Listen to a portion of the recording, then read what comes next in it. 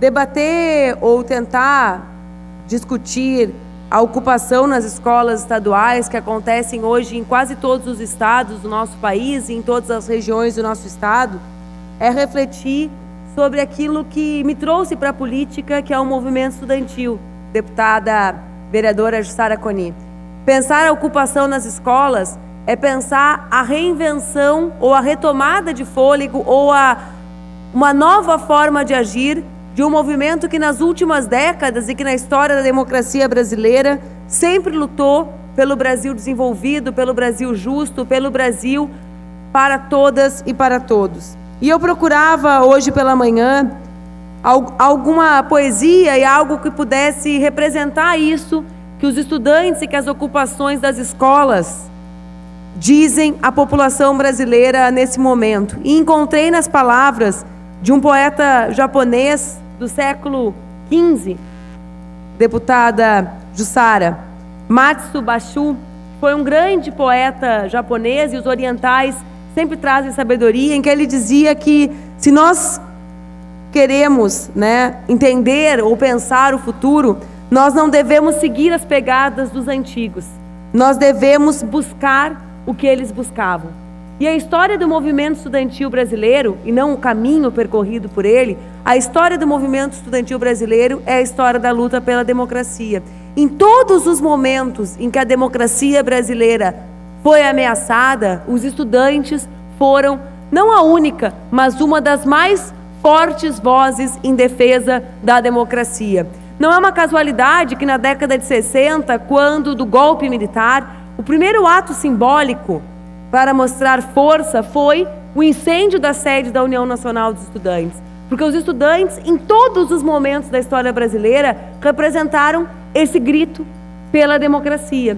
Mas as ocupações, e talvez por isso esse poema, esse breve poema de Matsu Bashu tenha representado para mim, é, é, não é o que acontece hoje com as ocupações, não é a reprodução de tudo que nós vimos no movimento estudantil até agora. É a mesma luta o mesmo ideal e por isso busque o que eles buscavam, mas por um caminho diferente. Talvez as ocupações, as 150 escolas ocupadas no estado do Rio Grande do Sul, representem o que de mais novo, de mais inovador e de mais ousado nós temos em defesa da democracia. Porque o que pode ser considerado democracia, senão a luta da juventude para que a sua escola tenha uma educação de qualidade? Porque o que pode ser mais transformador e democrático do que uma educação de qualidade ofertada a todos e a todos? Alguns dizem, pelo que lutam esses jovens?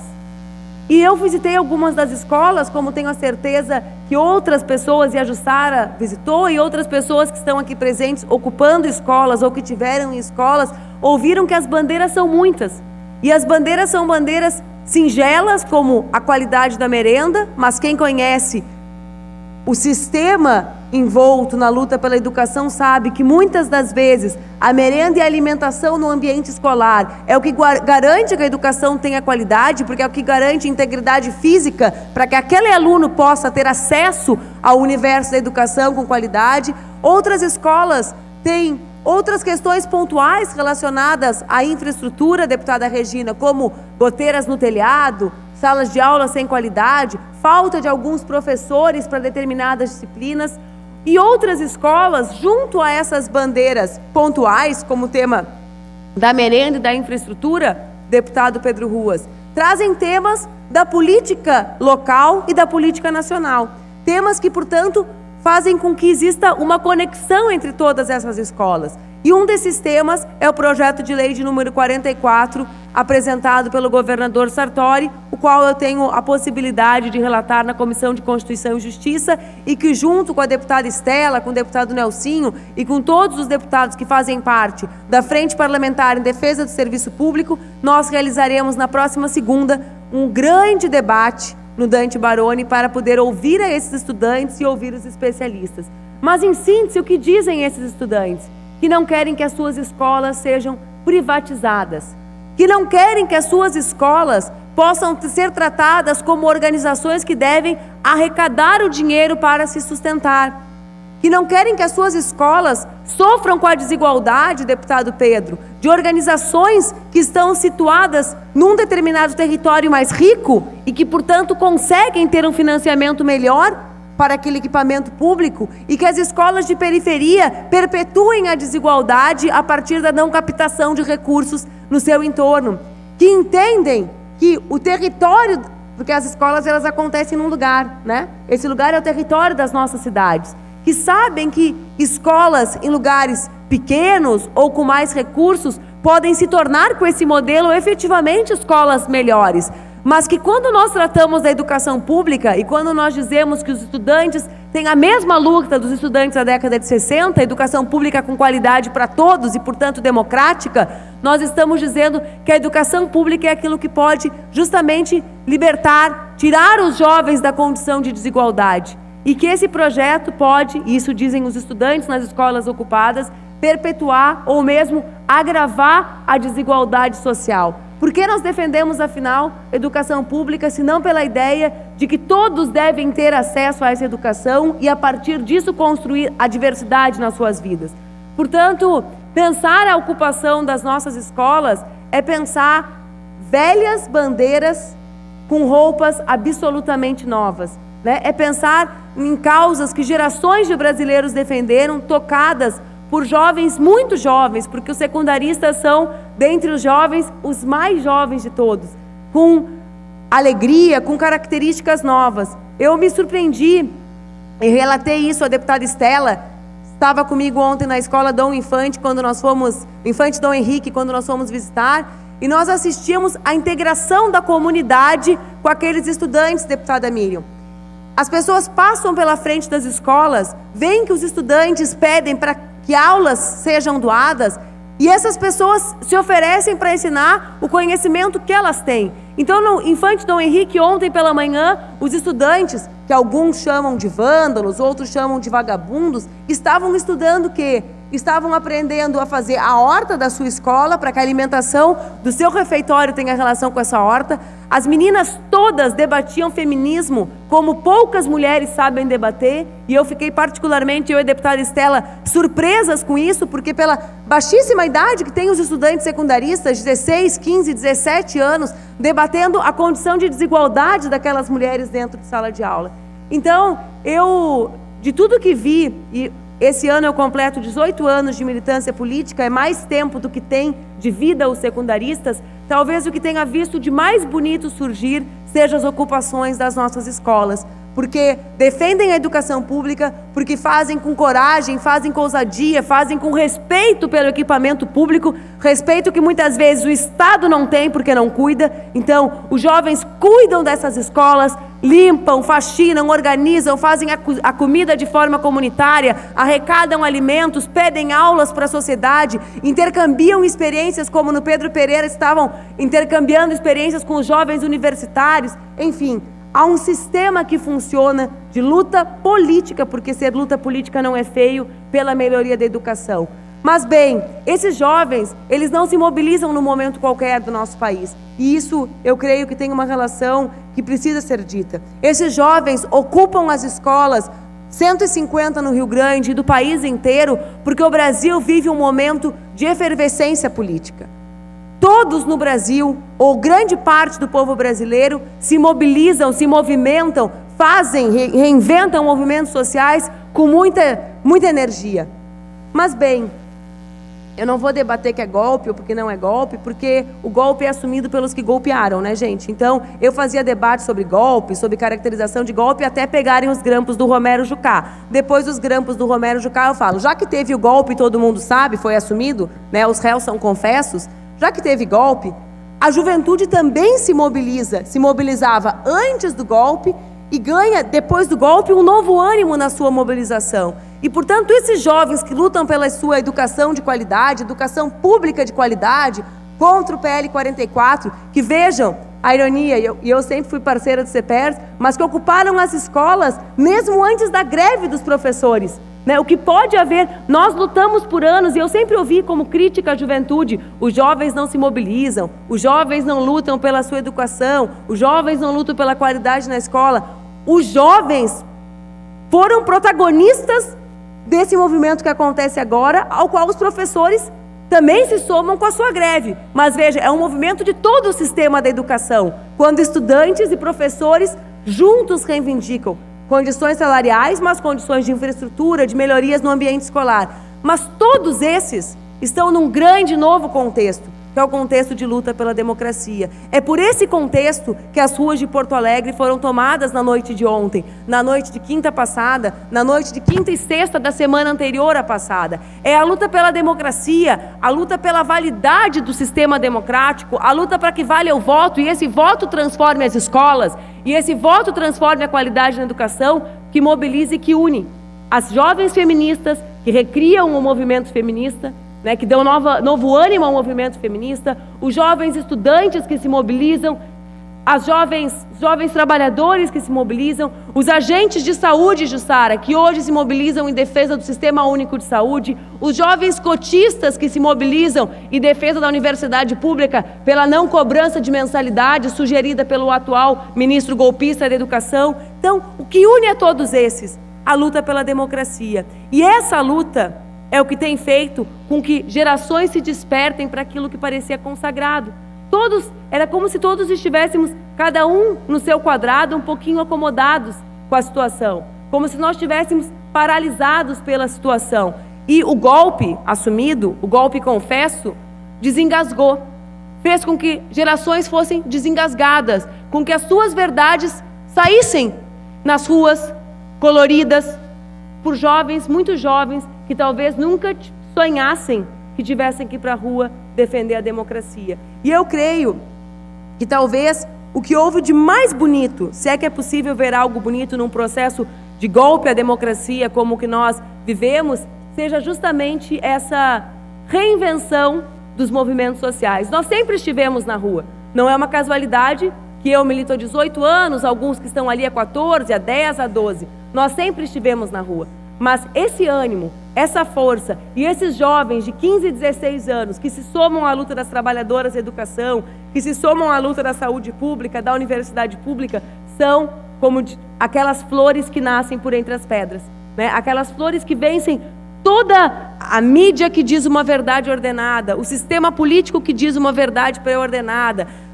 É como se existisse uma pedra, né, deputado Edgar? Uma pedra que diz: ó, não é golpe, houve roubo aqui, a Dilma roubou, como roubou, né? O Renan mesmo disse, aquela mulher é de uma força, ela é inabalável, né? Porque a convicção da sua inocência, a convicção de que o impeachment é golpe é que dá essa força, e não o contrário. Né? Então, é como se existisse uma pedra e esses jovens tivessem a coragem de ser aquela florzinha que a gente vê nascer entre o asfalto. Rompem todas as barreiras das verdades midiáticas, rompem todas as barreiras que dizem que não é necessário lutar, rompem todas as barreiras dizendo que todas as lutas já foram feitas e constroem um caminho absolutamente novo, ocupando as escolas, valorizando a educação e se somando àqueles que lutavam há mais tempo. E eu ah, faço desse grande expediente uma espécie de homenagem a vocês que reanimam as gerações que lutam contra o golpe, né? As gerações que diversas, um pouquinho mais velhas, mas nessa idade essa diferença de 10 anos, de 7 faz muita diferença, né? Por isso que os universitários e secundaristas se organizam de forma diferente. Às vezes as professoras que são muito jovens já são completamente diferentes, mas vocês são o ânimo que o nosso movimento precisa para seguir adiante. É como se vocês tivessem devolvido a nós, mulheres feministas, a coragem que por vezes adormecia. É como se vocês tivessem devolvido aos estudantes a força que às vezes por ter muito tempo na luta, enfraquecia. Os estudantes secundaristas que ocupam as escolas do Brasil inteiro, assim como as jovens mulheres, assim como os jovens que lutam, lutam pela sua livre orientação sexual, vocês são as flores que nasceram entre as pedras duras do golpe que foi construído pela elite brasileira. Parabéns e obrigada. Todos os democratas do nosso país agradecem aos jovens que resistem, que lutam, que reinventam a sua educação. A educação é o que liberta, a educação é o que há de mais revolucionário. E não existe nada mais justo do que ter uma educação pública e de qualidade para que a democracia seja algo que, que perpasse a todos. Deputada Estela, lhe concedo uma parte. Obrigada, deputada Manuela. Primeiro, cumprimentar o presidente em exercício, deputada Dilson Troca, a representante do CEPER Sindicato, Rosane Zan, o senhor, a senhora, não, a senhorita representante do Grêmio Estudantil da Escola Estadual Ernesto Dornelles, a Lara Tiago, a nossa representante do Grêmio Estudantil da Escola Estadual Dom Diogo de Souza, a Nayade Salinos, e a senhora representante da UBS, desculpa, é a UBS, está faltando a Nayade, Isabela Luzardo, a nossa vereadora Jussara Coni, está à mesa conosco. Juventude que está aqui nos acompanhando, os deputados e deputadas, a imprensa, dizer que é muito bom ter esse teu grande expediente, Manuela, onde tu traz aqui a nossa juventude, né, para dentro da Assembleia Legislativa e faz este debate, esse reconhecimento da luta da nossa gurizada, que efetivamente brota, como tu bem dissesse, como se fosse flores que brotam, né, com todas as dificuldades, mas que também premidas por essa dificuldade, vêm e vão ocupando seu espaço, e vão tomando seu espaço e vão nos enchendo de energia positiva. Uh, a gente tem estado em alguns momentos nas escolas, eu particularmente menos do que gostaria, né, uh, de estar presente acompanhando e venho hoje aqui dizer e reiterar que efetivamente não há como dissociar o que nós estamos vivendo hoje no país e o que estamos vivendo no Estado. A política de desmonte é a mesma. O Rio Grande do Sul volta a ser um laboratório do neoliberalismo, volta a ser talvez o principal laboratório, mais uma vez, no país, em termos de políticas de enxugamento do Estado, de aperto das políticas sociais, de corte de direitos. Nós já temos aqui, diria, o laboratório já iniciado um ano e meio à frente frente deste governo golpista que está né, uh, buscando se constituir e que nós não deixaremos se constituir e que vocês não deixarão se constituir, que não deixaremos nenhum momento que este governo do golpe da traição né, consiga se constituir, né, enquanto de fato né, algo que venha a fazer a implantação né, uh, uh, por sobre nossas cabeças, por sobre nossas vontades, por sobre os nossos direitos. Então, eu te cumprimento mais uma vez, tu és uma, uma líder uh, uh, uh, jovem deputada, primeiro federal, hoje estadual, que nos orgulha pela tua dedicação, pela tua luta e pela representação e significado que vocês têm, tu, Jussara, todos os companheiros e companheiras, na luta dessa gurizada. Então, vamos em frente, há muito que se lutar e, por fim, um convite. Dia 30, segunda-feira, dia 31, terça. Dia 30, segunda-feira, me aproveito aqui, teremos audiência pública, onde tu é uma das partícipes como relatora do PL 44, que é o mesmo PL que está aí hoje tramitando na casa, com intenção de transformar a escola pública em OS, em organizações sociais, em fazer com que o serviço público seja reduzido à organização social. E nós vamos estar denunciando isso no dia 30 e queremos estar com vocês às 14 horas. Obrigado. Deputado Pedro Ruas, escuto a Internacional tocando no seu celular, mas lhe concedo uma parte. Quando, quando eu vou falar, geralmente toca. Em homenagem aos comunistas que estão na tribuna, tem a E também nos apartes. Mas, deputada Manuela Dávila, eu, é uma alegria muito grande poder, na verdade, aparteá-la nesse momento. Porque eu quero saudar o deputado Adilson Troca, nosso presidente de exercício, e a mesa toda na pessoa da Jussara Coni. Jovem desde sempre. Uma menina desde sempre, a grande Jussara Coni. Tive orgulho de sermos colegas vereadores nos anos 80 e aprontamos alguma coisa, né, Jussara? Naquele período ali. Mas eu, eu lembro, Manuela, que em 1966, quando eu e o teu pai tínhamos 10 anos de idade, exatamente 10 anos de idade, eu via no Instituto de Educação Flores da Cunha, onde eu estudava, fazia o primário, dali eu fui para o Julinho, abaixo o acordo MEC-USAID. E eu ouvia a Manuela, Jussara, e lembrava disso. Abaixo o abaixo o acordo MEC-USAID, em 66. Ali era a mobilização juvenil e que também tinha um contexto interessante, forte, porque tinha o início da ditadura no plano nacional, essa ditadura se refletia aqui, com o interventor estadual e também municipal em Porto Alegre. Célio Marcos Fernandes, se não me engano, em Porto Alegre. Então, era um contexto inteiro que levava os jovens a questionar uma legislação que iria prejudicar, sim, o ensino. Hoje, nas palavras de Vossa Excelência, deputada, nós temos um contexto nacional, onde a cada dia tem um escândalo novo. Hoje todos viram a, a, as gravações do Renan Calheiros, como anteontem do Romero Jucá. Nós temos no Estado uma situação dramática também, e o próprio projeto de lei, o 44, remetido para cá, é algo que ofende profundamente os estudantes. E sim, estão ocupando as escolas, lutando por melhores condições. Mais do que isso, e acho que aqui está o mérito maior, inclusive do grande expediente de hoje. Ao lutar a sua luta, ao fazer a sua reivindicação da sua maneira, eles auxiliam a toda a sociedade. Então, parabéns a Vossa Excelência pela iniciativa e, fundamentalmente, parabéns aos nossos bravos e jovens estudantes aqui do Rio Grande do Sul. Obrigada, deputado Pedro Ruas. E eu termino o grande expediente uh, e tive pensei o que seria mais justo do que prestar uma homenagem a quem ressignifica a nossa luta daqueles que lutam por educação pública, daqueles que lutam por democracia, que são os estudantes secundaristas.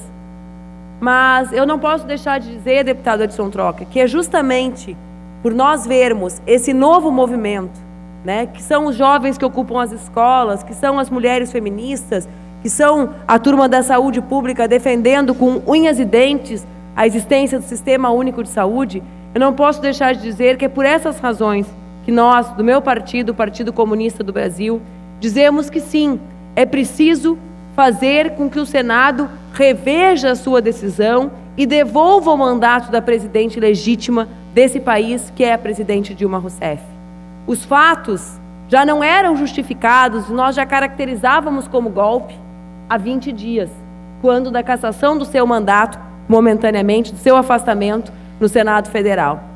Se naquele momento nós já denunciávamos que havia um golpe, os novos fatos, eu tenho a convicção, farão homens e mulheres daquele Senado rever as suas posições, por vezes oportunistas, de votar com uma opinião pública que, eventualmente, deputado Pedro Ruas, pelas inúmeras manipulações do processo, genuinamente acreditava que tirar a Dilma poderia corrigir o problema da corrupção. Eu conheço gente que não é mau caráter, que não é golpista, que não está associada com o que há de novo e fascista na sociedade brasileira, mas que por diversos esquemas de construção simbólica acreditavam nisso. Eu tenho a convicção que esses homens e essas mulheres, a eles, bastaram dez dias de governo Temer para que conhecesse a sua face reacionária, para que conhecesse uma pactuação que fez, não eleita nas urnas, em torno de um programa neoliberal. Não foi esse o programa que venceu as eleições de 2014, não foi esse voto que ele recebeu, mesmo como vice-presidente da República. Mas nós do PCdoB achamos que Dilma deve votar e consultar a população brasileira sobre a possibilidade de novas eleições presidenciais. E essa consulta pode ser feita com um novo campo político que surge nesse país, que é feito, sobretudo, por jovens, homens e mulheres, que lutam pelos direitos seus e que lutam por uma sociedade mulher, melhor, para, igual para homens e mulheres. Esses jovens e essa pactuação é que nós queremos que Dilma escute num grande plebiscito realizado nas eleições municipais que escute a esse povo brasileiro que esteve nas ruas, que está nas ruas, que ocupa escolas, para que nós tenhamos um novo pacto nacional e, a partir disso, construamos um novo governo com novos desafios mais transformadores para o povo brasileiro. E, por fim, eu quero fazer uma denúncia muito grave. Eu respeito muito a deputada Silvana Covatti e o senhor que a representa, a deputada Adilson Troca. Porém, é o segundo grande expediente realizado pelo meu partido, o PCdoB, em que as regras de segurança da casa mudam. Nós temos aqui, de todos os partidos, cotidianamente pessoas circulando dentro da casa. Nós temos, inclusive, assessorando gabinetes parlamentares, pessoas que disseram que todos os petistas tinham que ser mortos. Ou pessoas que invadiram atos organizados pelo meu mandato. CC, não é visitante estabelecer regras distintas, quando nós, de maneira honesta, dizemos qual o tema dos nossos grandes expedientes, e foi por isso que eu o fiz, porque era um teste. Porque quando o deputado Juliano Roso disse que trataria da crise, o sistema de segurança mudou. Quando eu disse que trataríamos das escolas ocupadas, o sistema de segurança mudou.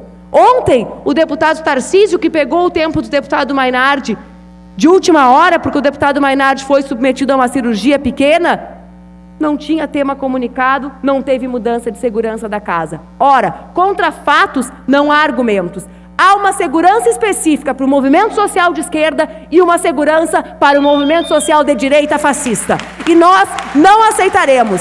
Nós queremos, e eu solicito formalmente a Vossa Excelência, que o esquema de segurança de todos os dias da casa Desde a votação do impeachment, quando a casa amanheceu fechada, com seus trabalhadores sendo pagos pelo povo, tiveram ponto livre porque ia votar o impeachment, desde aquele dia até o dia de hoje. Eu empiricamente afirmo, mas tenho a convicção que cientificamente também o farei com os dados da mesa diretora. Apenas nos dias que a esquerda entra, a segurança muda. A esquerda não é diferente da direita. Ao contrário, as nossas diferenças nos tornam mais combativos, mais de luta e mesmo mais respeitáveis. Porque do lado de cá não tem nenhum golpista. Fiquem tranquilos, nós não usurparemos vocês do poder.